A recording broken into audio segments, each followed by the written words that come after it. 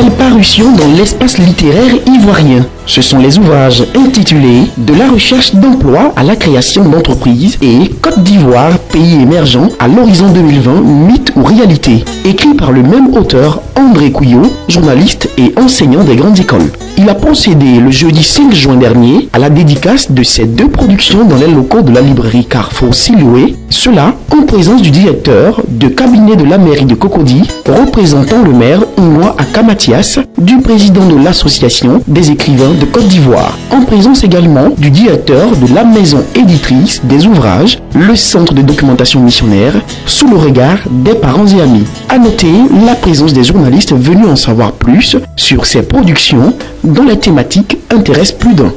De la recherche d'emploi à la création d'entreprises est le premier ouvrage d'André Couillot, une œuvre dont l'écriture a été motivée par la difficulté d'insertion professionnelle des étudiants après leur BTS, puis la volonté d'aider à l'orientation des jeunes désireux de créer leur entreprise.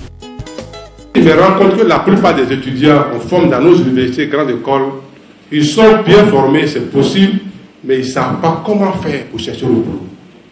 Ils ne savent pas comment, ils ne maîtrisent pas la méthodologie. Ils ne savent même pas comment on rédige un CV. Même j'ai vu des professeurs qui viennent dans mon cabinet pour faire des CV, mais il faut des CV, on dirait une encyclopédie. Il dit tout, j'ai été professeur, j'ai enseigné telle matière, tant, temps, et puis il faut 10 pages. Mais aucun cabinet ne dit les CV de 10 pages. En cabinet, c'est 30 secondes, si c'est trop pour un CV. Parce qu'on fait un appel à candidature qui parle d'affrontement, ce n'est pas de la publicité, mais en moins de deux jours, on a 300 à 400 demandes. Alors si on me prend par exemple pour dire, Couillot, tu vas aller faire la sélection, mais on me donne une journée. Vous croyez qu'une journée, ça fait 8 heures. En 8 heures, je ne peux pas lire tous les CV. Donc on dit comme ça, on dépose. S'il y a des ratures, c'est pas bien écrit, il y a des fautes de grammes, des fautes d'orthographe, on jette à côté et puis on dit ce qui est lisible. C'est comme ça qu'on sélectionne. Vous partez à faire pour faire les CV. Comment faire pour faire les lettres de motivation? Je le dis aussi, les lettres de motivation, quand en cabinet, 90% sont beaucoup plus de lettres de démotivation que de lettres de motivation. C'est-à-dire quand on lit, on n'avait pas envie de voir la personne qui a écrit. Voilà, donc on ne peut pas. Oh, il faut qu'on lise la lettre de motivation pour t'appeler. Mais quand on n'a pas lu, on ne peut pas t'appeler. Et finalement, les gens disent c'est des sorciers. Ce n'est pas forcément les sorciers. Tu, écris mal, tu n'as pas, tu ne respectes pas la, les techniques, la méthodologie. Et donc, ça joue contre les demandes d'emploi. Et ensuite, la prétention salariale. Il y a une semaine, j'ai fait une conférence sur le même thème à casting. Il y avait 200 étudiants. J'ai demandé aux étudiants Combien voulez-vous qu'on vous paye après le master? Il dit 1 500 000. Ça a été le moins 10 ans. 1 500 000. Je dis, hein? Et le procès qui est là, il a quel niveau dit la docteur on paye combien? On lui donne moins de 10 000 francs l'heure. Donc, il ne peut même pas gagner 1 500 000 parce qu'il a 1500, il a 100 heures dans l'année. Donc, s'il est trop cher payé, c'est 1 million dans l'année. Ça fait pratiquement 80 000 francs par mois. Alors, lui, c'est ce qu'il leur montre. Donc, comment il faut s'intégrer dans l'entreprise? Donc, quand on donne un stage, il faut en profiter. Parce qu'en 90% des entreprises qui donnent les stages ont un emploi à court terme, à moyen terme, même à long terme. Cela veut dire que si on te prend un stage, c'est qu'il y a de la possibilité. Si on ne te prend pas, il y a un problème. Une fois, deux fois, il faut te poser des questions. Pourquoi il fait trois ans, on m'a pas pris Une fois, deux, on peut dire que l'entreprise n'était pas dans le besoin, mais en général, ça fait 20 ans dans les PME, PMI. En général, quand on prend stagiaire, c'est qu'il y a la possibilité. À court terme, à moyen terme ou à long terme, mais il y a la possibilité. Si on ne te prend pas, c'est qu'il y a un problème. Comment trouver l'emploi Deuxième partie, comment transformer son emploi Hein, comment garder son emploi. Troisième partie, comment gérer son entreprise.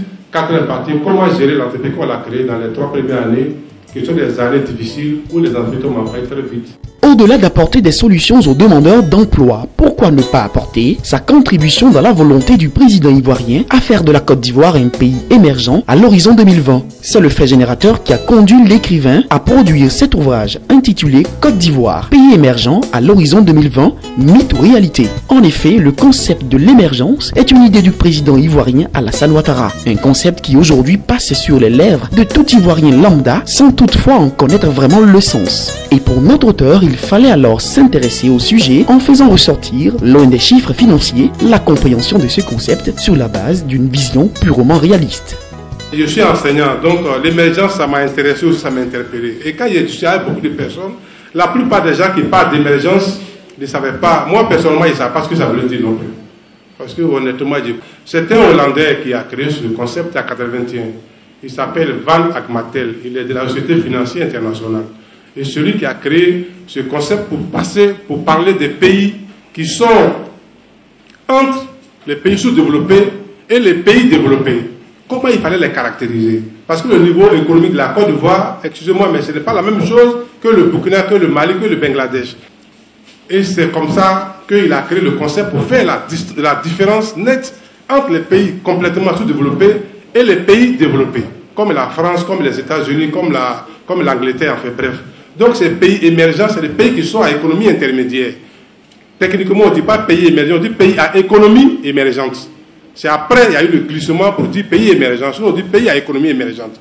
Alors donc, j'ai fait l'historique. Et l'historique a révélé que ce n'est pas une fiction, c'est une réalité. Parce qu'il y a des pays qui sont effectivement des pays émergents. Et on a parlé des BRICS. Les BRICS, c'est un acronyme qui veut dire Brésil, B, Brésil, le R, c'est la Russie, le I, c'est l'Inde, le C, c'est la Chine, et ils ont ajouté S après pour dire sauf Africa, donc Afrique du Sud. Donc, c'est des pays qui constituent aujourd'hui plus de 16% de l'économie au niveau mondial. Comment il faut les caractériser par rapport aux autres pays? Alors, est-ce que la Côte d'Ivoire, pour résumer, est-ce que la Côte d'Ivoire peut arriver à l'émergence? Oui, certains me posent la question pour dire est-ce que la Côte d'Ivoire qui n'a pas sa monnaie peut être émergente Moi, l'émergence, c'est qu'il faut qu'on mette les bitumes sur cette route. L'émergence, mon village est à 20 km de Gagnoa. L'émergence, pour moi, c'est qu'on construit des centres de santé dans les villages. L'émergence, c'est que les villages soient électrifiés. L'émergence, c'est qu'il y ait de l'eau potable dans les villages. Alors, on peut ne pas l'aimer, le président, mais est-ce que le projet qu'il défend, est-ce que c'est un bon projet? Est-ce que ce projet est bon pour la Côte d'Ivoire? Est-ce que c'est bon pour moi d'abord? Mais c'est bon pour moi, parce que si on a mis les écoles dans mon village, si on a mis les centres de santé, est-ce que ça c'est mauvais? Donc, l'émergence, en fait, c'est la construction des routes. Ceux qui sont dans Bengourou, ils vont aujourd'hui, c'est un calvaire pour aller à Bengourou. Alors, vous voyez aujourd'hui, c'est l'émergence, c'est la construction des routes. L'émergence, c'est le développement finalement. Et moi, j'ai pris l'aspect développement. L'aspect politique, ça ne m'intéresse pas. En fait, l'émergence, pour résumer, c'est les grands digitales. Il faut qu'on arrête les palabres inutiles. C'est tout. Cet exposé a donné suite à un échange entre les journalistes et l'auteur, permettant ainsi de lever certaines incompréhensions relatives au contenu des œuvres. L'intérêt de ces œuvres a d'ailleurs pu être apprécié à travers les différentes interventions. Je suis là ce matin pour représenter le maire à l'occasion de cette cérémonie de dédicace du livre de, l'auteur Kyo André. En venant là, tout l'intérêt que je porte au nom du maire à cette cérémonie, c'est que le livre parle de, deux concepts qui, nous tiennent à cœur et qui sont d'actualité. Le concept de l'émergence euh, avec le président Ouattara. Il a expliqué, je n'ai pas encore lu le livre, mais par le titre, déjà, nous savons qu'ils nous mettent devant nos responsabilités, nous les citoyens ivoiriens. Nous avons le droit de croire en ce concept et nous le réalisons ensemble. Nous avons le droit de ne pas y croire. Ça devient un mythe et il disparaît comme tout mythe euh, auquel on ne croit pas. Ensuite, euh, pour le deuxième livre qui est de la recherche, l'emploi, la création de son entreprise, c'est vraiment un guide pour nous permettre de pouvoir encadrer la jeunesse. Aujourd'hui, les jeunes de Cocody cherchent de l'emploi. Ils veulent ils veulent travailler, ils veulent être bureaucratiques, mais aussi il y a des pistes euh, euh, vers lesquelles nous pouvons les orienter, la création d'emplois. Mais comment y arriver? Nous n'en sommes pas des professionnels. Il y a des professionnels qui se mettent à nos dispositions à travers les ouvrages qu'ils écrivent.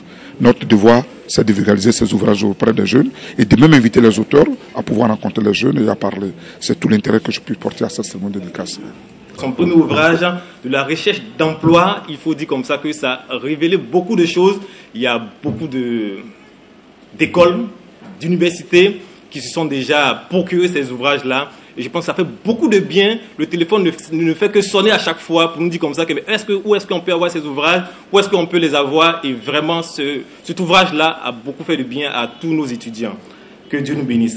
Et maintenant, nous sommes aujourd'hui à un autre livre, son dernier livre, qui est un livre d'émergence. Aujourd'hui, nous en, on entend parler d'émergence un peu partout. C'est dans le langage de tout un chacun.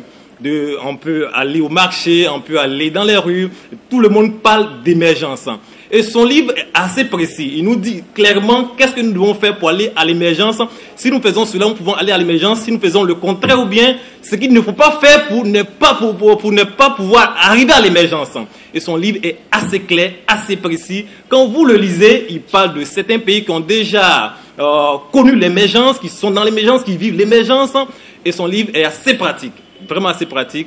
Je l'encourage, le frère Kyo, ça, il est vraiment applaudi. Vous pouvez l'applaudir encore. Il travaille dans une perspective qui est intéressante à plus d'un titre.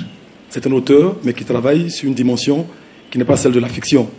Parce que d'une manière générale, quand on parle d'écrivain, on s'imagine qu'il s'agit simplement d'auteurs œuvrant dans le domaine de l'imaginaire. Mais les écrivains, c'est une réalité pluridisciplinaire et, j'allais dire, euh, transversale. Il y a des écrivains de toutes formes, des écrivains qui travaillent sur l'imaginaire, des écrivains qui travaillent sur le réalisme. Et André Cuyo est de ceux-là qui, en tant qu'écrivain, œuvrent sur des domaines qui sont les domaines transversaux. Il travaille sur, par exemple, la quête d'emploi et la thématique qui est abordée ce matin, à savoir l'émergence, montre bien qu'il est en prise réelle avec la réalité. Ce n'est pas forcément de la fiction. J'ai été approché par l'auteur quand il m'a montré les titres de l'ouvrage euh, Émergence en 2020, mythe ou réalité.